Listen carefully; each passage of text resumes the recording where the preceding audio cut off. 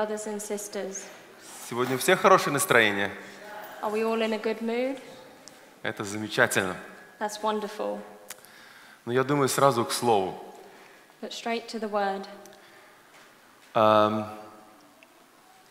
Очень часто мы говорим про любовь. We talk about love very often. Не правда ли? Is it true? Прошлое воскресенье была проповедь про любовь. Last Sunday we spoke about love. Если вы обратите внимание на слова песен, вот только сейчас заметил, почти каждая песня говорит что-то о любви Бога. If we pay attention to the words of the songs we sing, almost every song talks about God's love. И действительно, Господь открывает нам свою любовь. And truly, God opens His love to us. Он, он не прячет свою любовь, Он ее открывает нам. He doesn't hide it, He reveals it. Но зачем? But why? Зачем? Why? Я думаю, что Он хочет, чтобы нам себя открыть таким, как Он на самом деле есть. I think He wants to reveal Himself in the exact way that He is. И нам тяжело понять Его любовь, потому что даже Он сам говорит, что Его любовь, она выше нашего человеческого разумения. It's hard for us to understand His love because even He says that His love surpasses our knowledge. Ефесянам 3 главе так написано. Ephesians chapter 3 says, Чтобы вы, укорененные и утвержденные в любви, That you, being rooted and grounded in love, могли уразуметь превосходящую разумение любовь Христову, may be able to know the love of Christ which passes knowledge, дабы вам исполниться всею полнотой Божьей.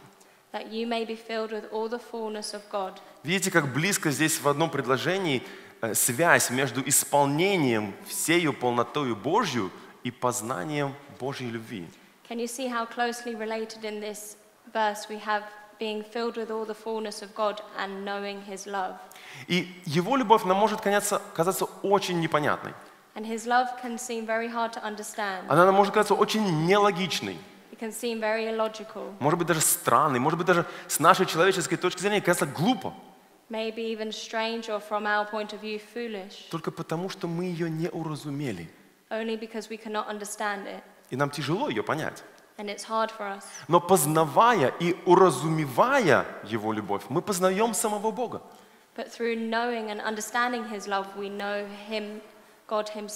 Потому что 1 Иоанна говорит нам, что Бог есть любовь.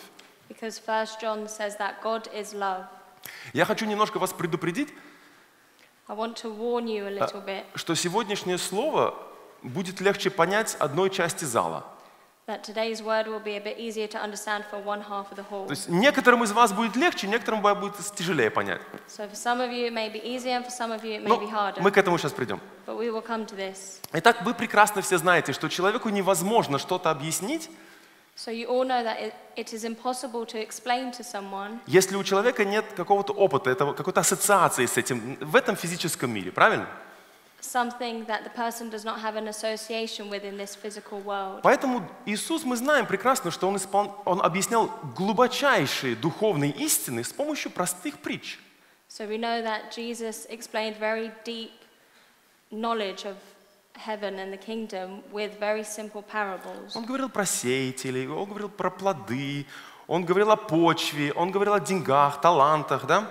He talked about fields and sowers and fruit and money. И нам тоже Господь открывает свою любовь на таких примерах, чтобы нам, людям, было это понятно. And the Lord reveals his love to us on examples that we can understand as people. И мы видим, что в Писании Он открывает себя, может быть, очень многократно, очень многогранно.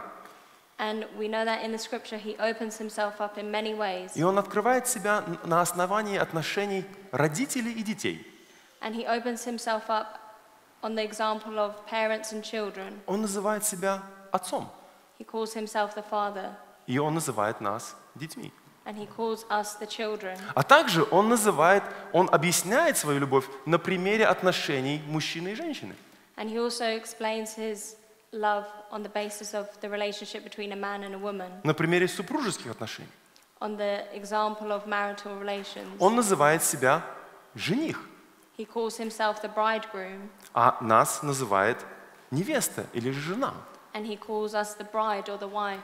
Очень, я думаю, нам в русском языке повезло, I think we are very lucky in the Russian language потому что слово «церковь», она женского рода. because the word church is the feminine gender. Если бы слово церковь было мужского рода, нам бы, может быть, было сложнее. If it was the masculine gender, it might be harder to understand. Но апостол Павел конкретно говорит, The Apostle Paul says specifically Ефесянам 5 глава, in Ephesians chapter 5 «Так должны мужья любить своих жен, как свои тела. So husbands ought to love their own wives as their own bodies. Любящий свою жену любит самого себя, He who loves his wife loves himself. ибо никто никогда не имел ненависти к своей плоти, For no one ever hated his own flesh, но питает и греет ее, как Господь церковь». But nourishes and cherishes it just as the Lord does the church. Он приводит прямую параллель между отношениями, отношениями мужа и жены и Гос- Господом и церковью. He draws a parallel between the man and his wife and the Lord and his church. Потому что мы члены тела Его, For we are members of his body, от плоти Его и от костей Его. of his flesh and of his bones. Посему оставит человек отца своего мать и прилепится к жене своей, и будет двое, одна плоть. For this reason, a man shall leave his father and mother and be joined to his wife, and the two shall become one flesh. Дальше очень интересные слова. Тайна сия велика. Very interesting words follow. This is a great mystery, Я говорю по отношению ко Христу и к церкви. but I speak concerning Christ and the church. То есть мы видим, как апостол Павел вкладывает очень глубокое понимание Божьей любви к своей церкви на примере отношений мужа и жены. So we see the deep meaning that Apostle Paul puts into the relationship between Christ and his church on the example of a man and his wife. Мужья призваны вот здесь вот взять пример с того, как Господь любит свою церковь. The husbands are called here to take example from how the Lord loves his church. И жены призваны взять пример с того, как церковь любит своего жениха, своего Господа. And the wife is called to take example from how the church loves its Но, так- но также, я думаю, что мы можем увидеть еще здесь, как Господь любит свою церковь, свою невесту, his bride, на примере отношений жениха невесты. on the example of a bridegroom and his bride. Некоторое время назад мы обсуждали такую тему, что тяжело строить отношения между мужчиной и женщиной, между супругами,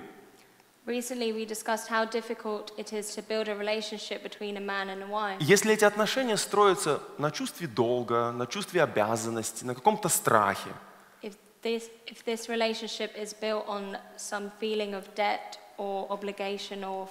если отношения строятся не на любви, то они очень шаткие, они совсем не долгосрочные. if the relationship is not built on love, then the foundation is very shaky and not Вот long поэт- lasting. Поэтому Господь и открывает нам свою любовь, That is why the Lord reveals to us his love, чтобы мы влюблялись в Него. for us to fall in love with him. Я предлагаю сегодня, как я уже сказал, части зала будет намного легче, чем другой половине, да, скажем так.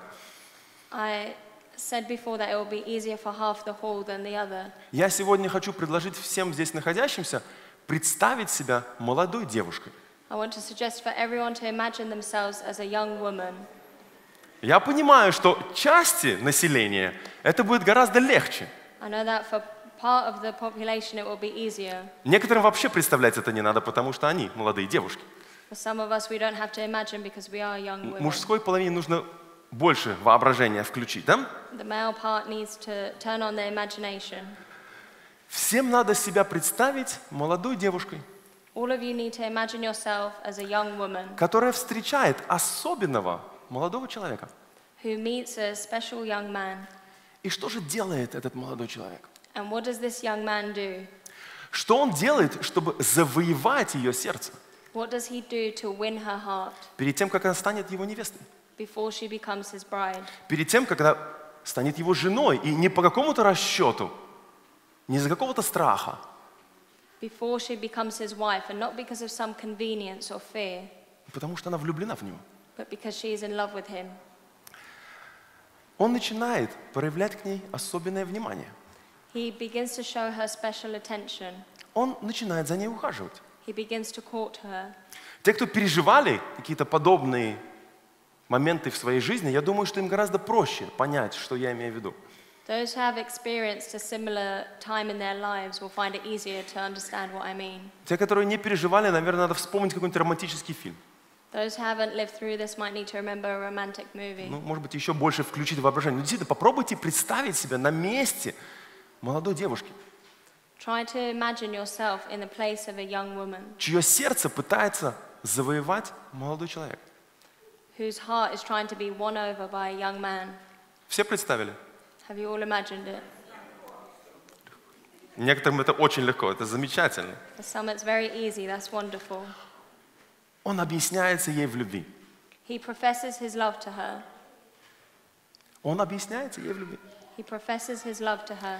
Ты самое драгоценное, что у меня есть. You are the most precious thing that I have.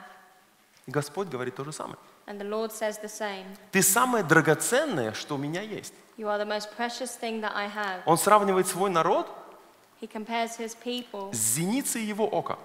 to the apple of his eye. Да? Можете прочитать в Второзаконие 32 глава. Deuteronomy chapter 32. Он говорит, я готов пожертвовать ради тебя самым дорогим. He says, I am ready to sacrifice my most valuable thing for you. Иоанна 3,16, я думаю, вы все знаете. John 3:16, we all know it well. Ибо так Бог возлюбил мир, что отдал самое драгоценное для него, своего Сына. For God so loved the world that he gave away his most precious, his only begotten son. Я буду всегда рядом с тобой. I will always be by your side. Евреям 13 глава. Hebrew chapter 13. Не оставлю тебя и не покину тебя. I will never leave you nor forsake you. Он говорит, ты самое прекрасное, что у меня есть. He says, You are the most wonderful thing I have. Я сделал абсолютно все, чтобы ты была рядом со мной. I have done absolutely everything for you to be near me. Я разделю с тобой все, что у меня есть. I will share everything I have with you. С тобой ничего не произойдет, потому что я охраняю тебя. Nothing bad will happen to you because I will protect you. Этот стих висит у нас в том зале. Мы праздновали праздник благодарения, потому что Бог хранит нас. We celebrated recently Господь хранитель мой, Господь сень, э, и так далее, и так далее, и так далее. Да? The Lord is your keeper, the Lord is your shade. 120-й псалом. Psalm 121. Даже если что-то с тобой произойдет, Even if something does happen to you, я все исправлю. I will fix it. Римлянам 8 глава.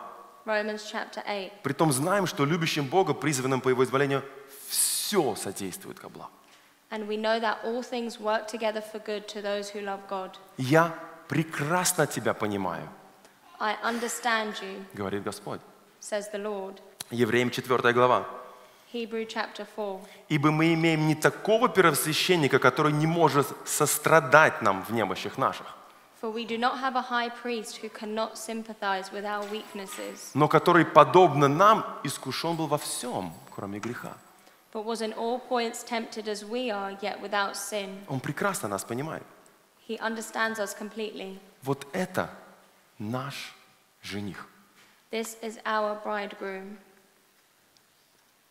Хочется обратить внимание, I want to draw your attention на то, что как Господь влюбляет себя в нас, that the way that the Lord makes us fall in love with Him, я перефразирую, на то, как Господь нас в себя влюбляет, that the way that the Lord makes us fall in love with Him. the Lord makes us fall in love with Him, Это очень резко отличается it is very different от того, как это происходит на свидании в этом мире. to the way that this happens in dating in this world. В этом мире на свидании молодой человек, молодая девушка встречаются, идут проводить время вместе в кино, в кафе. In this world, a young man and- a young woman meet for a day and they go to spend some time together. И у них запланировано, что они будут проявлять себя с самой хорошей стороны. And then they, and they plan to show themselves from their best side. Никто же не хочет видеть мои недостатки. Nobody wants to see my shortcomings. Я же хочу понравиться другой стороне. I want the other person to like me. Я же не хочу, чтобы он видел мои недостатки. I don't want them to see my Я не shortcomings. буду показывать ему свои недостатки. I won't show them to them. То есть это получается как реклама, So it becomes like an advert которая показывает самые лучшие функции продукта, that show the best functions of the product, да, самые лучшие качества на показ. the best qualities. Но у Бога не так. But it's not the same with God. Во-первых, у него нет недостатков. Firstly, he has no shortcomings. А во-вторых, он показывает себя полного. Secondly, he shows himself completely. Он ничего не, не прячет, не говорит, вот смотри только на такую хорошую картинку, а вот это я тебе не покажу. He doesn't hide and say, Look at this beautiful picture, and I won't show you this. Он говорит о том, как прекрасна жизнь в отношениях с Ним. Он говорит это, Библия полна этого. He talks how wonderful life is in relationship with him. Но он также говорит, как тяжело в этом мире, But he also says how hard it is in this world если мы последуем за Ним. if we follow him. Это не сокрыто. This is not hidden. Матфей 16 глава. Matthew chapter 16. «Отвергнись себя, возьми крест свой и следуй за мной». Deny himself and take up his cross and follow me. Если мир ненавидит вас, If the world hates you, знаете, что прежде меня ненавидел. you know that it hated me before. Иоанн 15, John chapter 15. Иоанн 16. John chapter 16. «Сие сказал вам, чтобы вы имели во мне мир». These things I have spoken to you, that in me you may have peace. В мире, то есть в этом мире, будете иметь скорбь. In the world you will have tribulation, Но мужайтесь, я победил мир. but be of good cheer. То есть Господь показывает нам все. So the Lord shows us everything, Не так, как происходит в этом мире. Not the way it happens in this world. И более того, And moreover, Он не просто говорит о своей любви, He doesn't only speak of His love, Он ее демонстрирует. He demonstrates it. Он ее показывает, проявляет. He shows it, manifests it. Как написано в Римлянах, Он доказывает нам свою любовь. As it says it in Romans, He proves it to us. Римлянам 5.8. Romans 5 8. Но Бог свою любовь к нам доказывает But God demonstrates His own love toward us тем, что Христос умер за нас, in that while we were still sinners, когда мы были еще грешниками. Christ died for us. Он доказал свою любовь к нам. He proved His love. Обратите внимание, когда Он это сделал. And pay attention to when He did this, Когда мы были еще грешниками. when we were still sinners. То есть Он не сидел и не ждал. So He didn't sit and wait. Покается грешник, вот тогда я покажу ему свою любовь. If the sinner repents, then I will show them my love. Вот он покаялся, ну тогда теперь я проявлю свою любовь к тебе. Oh, he repented, now I can show my love to him. Вот это любовь, которая выше нашего человеческого понимания. This is the love that passes our knowledge. Она выше нашей человеческой логики, нашего человеческого разумения. Она непонятна нам. It passes our human logic and our understanding. Он создал нас по образу и подобию своему. He created us in his image and likeness. Это доказательство Его любви.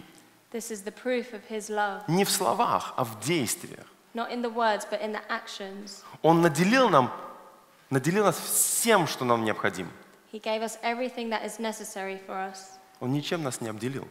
He didn't keep anything from us. Когда мы были мертвы, When we were dead, Он дал нам жизнь. he gave us life. Он оживил нас. He revived us. Колоссянам 2.13. Colossians 2:13. «И вас, которые были мертвы во грехах и в необрезании плоти своей, оживил вместе с Ним, простив вам все грехи».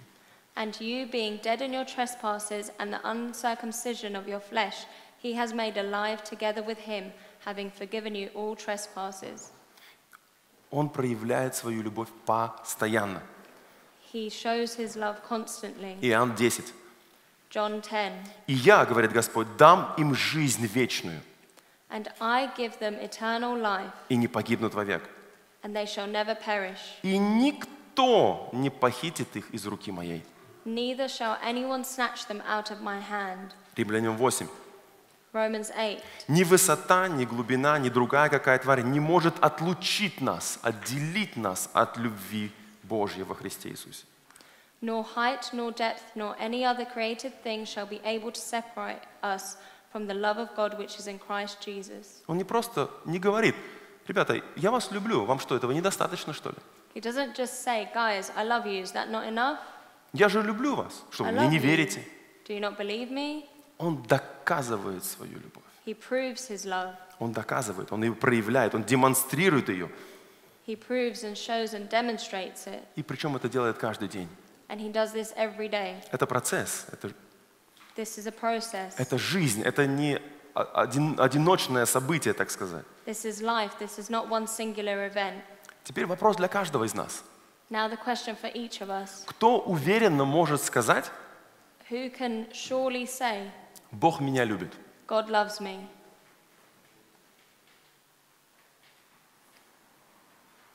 Даже не знаю, что ответить. I don't know what to answer. Я уверен, что каждый здесь находящийся I'm sure that each of us here, на своем уровне, on their own level, каждый на своем уровне испытал Божью любовь. has experienced the love of God. Не просто услышал где-то там, какой-то Бог меня любит, Not just heard somewhere over there is a God who loves me, но испытал. but has experienced it. У нас есть опыт Его любви. We have an experience of His love, Каждый на своем уровне. each on his own level. Как пишет апостол Иоанн в первом послании 4 главе. As Apostle John writes in his first book, chapter «И 4, мы познали любовь, которую имеет к нам Господь, Бог, and we have known and believed the love that God has for us, и уверовали в нее». and believed. Бог есть любовь. God is love, И так далее, и так далее, и так далее. and so on. Мы испытали. Не протестировали, я имею в виду, а испытали. То есть это мое. Это, We- да, experience We experienced it on ourselves personally на своей жизни. in our life. У нас есть опыт Его любви. We have an experience of His love, И именно Его любовь and His love делает нас такими, какие мы есть. Makes us who we are, Делает нас такими, какими Господь хочет нас видеть. makes us the way that the Lord wants to see us. Другими словами, мы вырастаем в познании любви Божьей. In other words, we grow in the understanding of God's love. Когда мы вырастаем в понимании, насколько действительно любит меня Бог. When we grow in the understanding of how much He loves us. И это процесс, And this is a process. это жизнь. Это не одиночное, опять-таки, событие. It, it is not one singular event. Именно такая любовь приводит нас, Его любовь, приводит нас к настоящей, к пониманию, что такое настоящая любовь. It is this love, His love, that leads us to the understanding of what is true love. Приводит нас к пониманию, что такое настоящая, то есть не искаженная любовь, What is true love, that is not distorted love, не, не эгоистичная любовь, not egotistical love, не эмоциональная любовь. not emotional love, Приводит нас к пониманию, что такое настоящая любовь. that leads us to understand what is true love. Именно Его любовь нас меняет.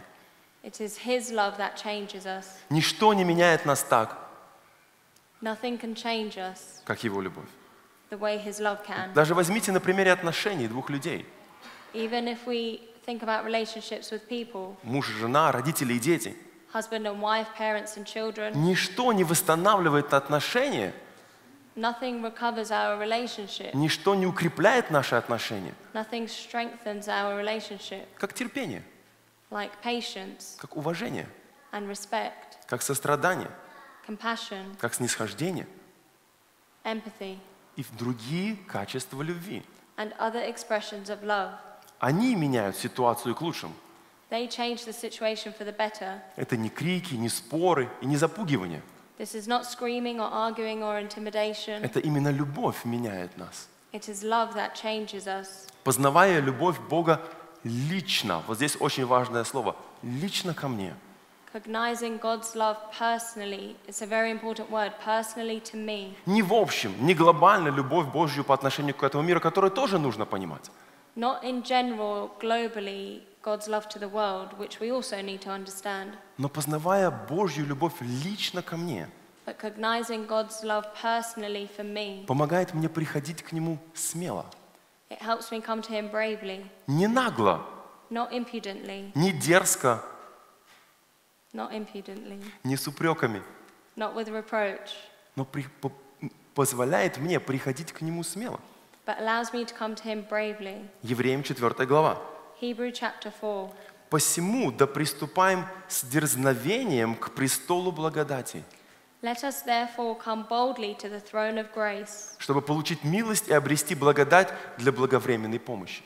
that we may obtain mercy and find grace to help in time of need. Дух Святой через это послание призывает нас приходить к Господу не потому, что мы Его боимся, The Holy Spirit calls us in the scripture to come to God not because we fear Him И не следовать за Ним, потому что нам страшно, and not to follow Him because we are afraid, но потому что Он нас любит. but because He loves us И потому что мы влюбляемся в Него. and because we fall in love with Him.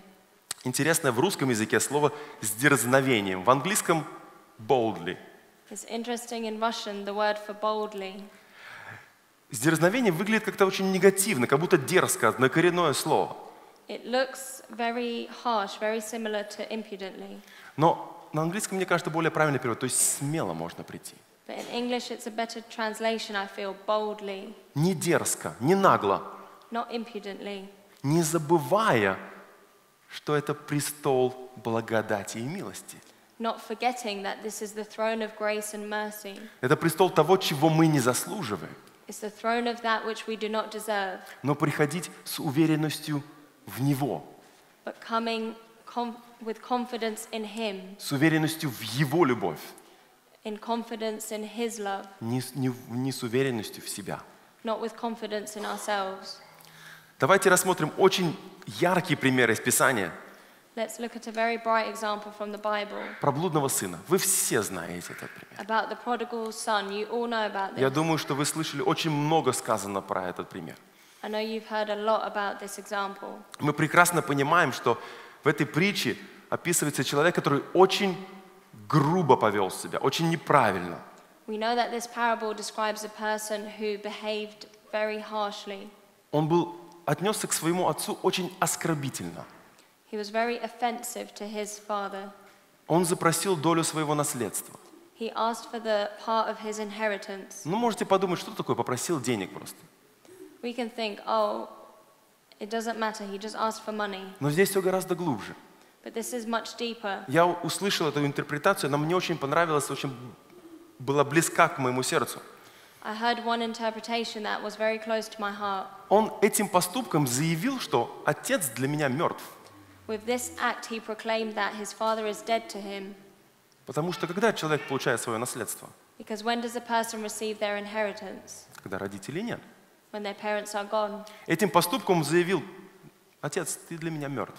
With this act, he proclaimed that, Father, you are dead to me. Можно сказать, плюнул We can say that he spat в родительское лицо. in his face. Но несмотря на это, But despite this, он был уверен в любви отца.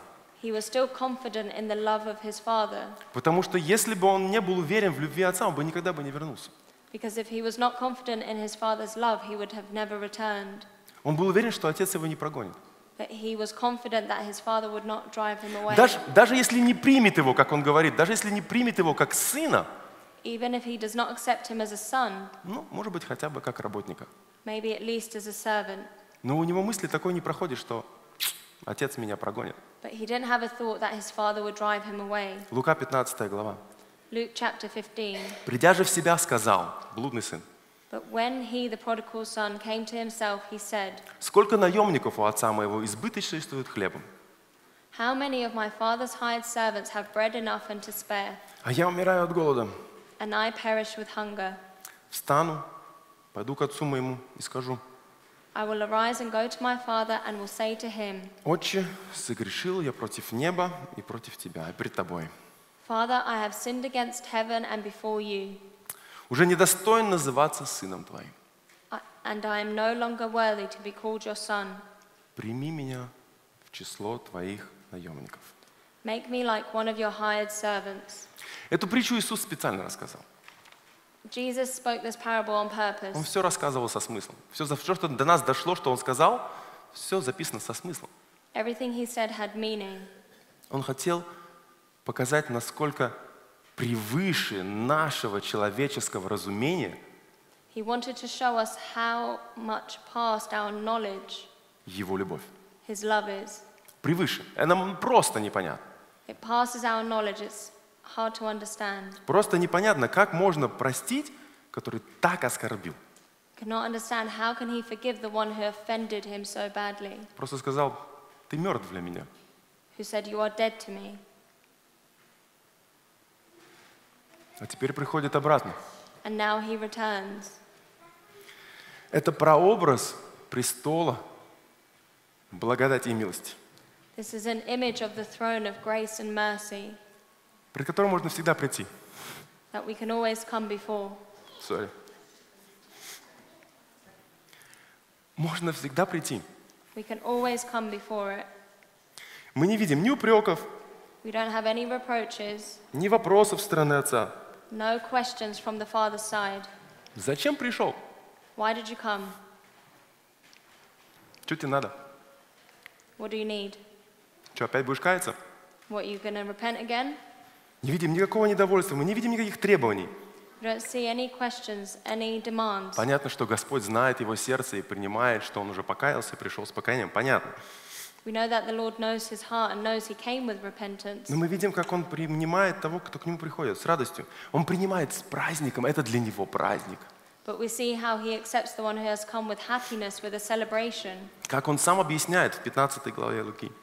as he explains in Luke chapter 15. Этот сын мой был мертв For this my son was dead и ожил. and is alive. Он был мертв He was dead и ожил. And is alive. И именно любовь Божья оживляет, It is the love of God that revives us, та, которая нам совсем не понять, the one that is so hard to understand. дает человеку новую жизнь. It gives a person new life. Да, был, к сожалению, один товарищ, который был недоволен возвращением There was one person who wasn't happy about his return. своего брата. Это был старший сын, That was the oldest son, his brother, но это совсем другой разговор. but that is a different discussion. Что же это за любовь такая, которая превыше нашего разумения? What is this love that passes our knowledge? Что же за любовь такая? What is this love? Она подкрепляет. It reinforces. Она подкрепляет. It reinforces. Тебе нужно подкрепление, она тебя подкрепляет. You need reinforcement, it will reinforce Она you. тебя подбадривает, It encourages она you. подсказывает, It prompts. она не запугивает, It does not intimidate. она призывает. Она напоминает, It reminds you. она помогает, It helps. она предупреждает об опасности. Смотри, пойдешь не туда, ну, печально. It warns of danger. Она указывает на ошибки, It shows your mistakes. так как делает учитель в школе, который указывает на ошибки, если что-то происходит не так. Just like a teacher in school shows your mistakes. Она призывает к лучшему. It calls you to be the best. Вот это непонятная нам любовь. This love is hard for us to understand. Хотел бы еще разобраться в одном вопросе в конце. I would like to discuss another question at the end. Любит ли Бог всех? Does, love, does God love everyone? Любит ли Бог всех? Безусловно. Does God love everyone unconditionally? Задавались ли вы себе таким вопросом? Have you asked yourself this question? И как это выражается? And how does this manifest? Я думаю, чтобы легче как-то разобраться в этом, нужно разделить все человечество на две группы. I think to make it easier, we need to split the whole of hu- humanity in two groups На тех, кто с Богом, и на those тех, who are with God на тех, кто не с Богом. and those who are not with God. Были с Богом и отошли, или еще не, не узнали Его. Вот это группа вторая. Maybe have been with God and walked away or don't know God yet. Любит ли Бог тех, кто не принадлежит Его Царству? Does God love those who do not belong to his kingdom? Я уверен, что да. I'm sure that yes, И- и На основании Писания. based on the scripture. Выражается ли это в том, что делай, что хочешь, веря во что хочешь, но ты идешь в рай? Нет. Does this manifest itself in God saying, live how you want, do what you want, and come to heaven? Нет. No. Нет, в этом это не выражается Его любовь. No, that is not how his love manifests. Но Его любовь выражается, как Он сказал в Иезекииль 33. The love is how he said in Ezekiel 33 «Я, живу я, говорит Господь Бог, As I live, says the Lord God, не хочу смерти грешника. I have no pleasure in the death of the wicked, Не хочу я смерти грешника. no pleasure in the death of the wicked, Но чтобы грешник обратился от пути своего и жив был. but that the wicked turn from his way and live. Это Его любовь. This is his love, Что Он позволил своему Сыну умереть, that he allowed his son to die пока мы были еще грешники. while we were still sinners. Он постоянно призывает. He constantly calls us, Он постоянно свидетельствует. he constantly testifies, Он постоянно напоминает.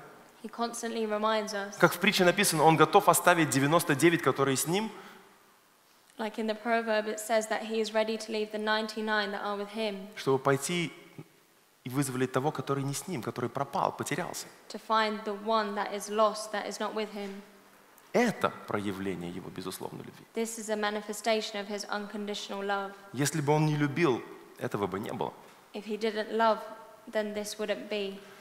Его любовь заключается в том, что он никого не заставляет. Он никого не заставляет идти в спасение. He doesn't force anyone to go into Он никого насильно туда не заталкивает. He cannot push anyone forcibly into there. Он говорит, я не могу насильно быть в твоей жизни, если ты не хочешь, чтобы я был в твоей жизни. He says, I cannot forcibly be in your life if you do not want me there.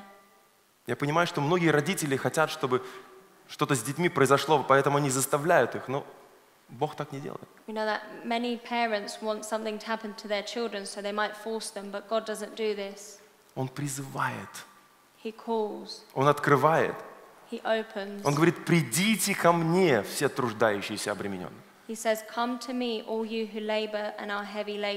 Доступ к нему все время открыт. Для любого человека, в каком бы состоянии он ни был. Бог ждет с нетерпением, если так можно выразить, когда блудный сын придет в дом отца, for the prodigal son to come home, чтобы выйти ему навстречу, to come and meet Him, обнять его и сделать праздник, to hug Him and make a celebration. точно так же, как родитель. The same as parents. Многие из вас родители. Many of you are parents. Любите ли вы своих детей? Ответьте сами себе, когда они хорошо себя ведут. Конечно, я люблю своего ребенка, когда он хорошо себя ведет. Do you love your children when they behave well? Of course you do. Люблю ли я своего ребенка, своего ребенка, когда он плохо себя ведет? Do you love your children when they behave badly? Я думаю, что каждый родитель скажет, да, люблю. I think every parent will say yes. Может, моя любовь проявляется по-другому, Maybe my love is shown differently потому что я пытаюсь наставить его на путь истины. because I tried to put them on the correct path. Но вот интересный вопрос. But here is an interesting question Знает ли, верит ли и понимает ли ребенок, Does the child know, believe, and understand что родитель его любит, that the parents love him даже когда наказывает? even when they punish? Вот это интересно спросить у детей. It's an interesting question to ask your children. Любит ли Бог вторую группу человечества, которые с Ним? Does God love the second part of humanity that are with him? Я думаю, конечно. Of course. Вы каждый, поднявший руку в над- в ответ на вопрос, что Бог любит меня, вы свидетели этого. All of you who put your hand up to the question, Does God love you, are witnesses of that. И каждый на своем уровне познал Его любовь, And each of you on your own level has have cognized his love. имеет опыт Его любви в своей жизни. And you have experience of his love in your life.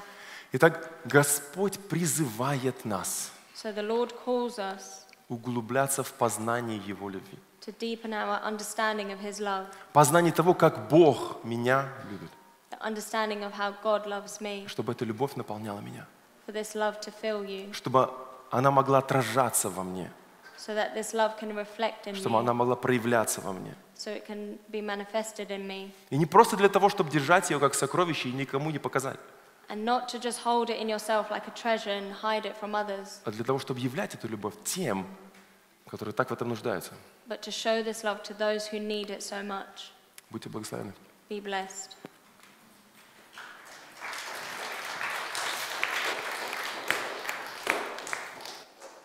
Ну что, мои дорогие, конечно, Алька задел несколько таких философских вопросов, So, my dear, of course, we had a few philosophical ко- questions которые я вряд ли буду сейчас разбирать, безусловно, но они интересные. I will not talk about completely now, but they are interesting. К примеру, он сказал, разделим человечество на два.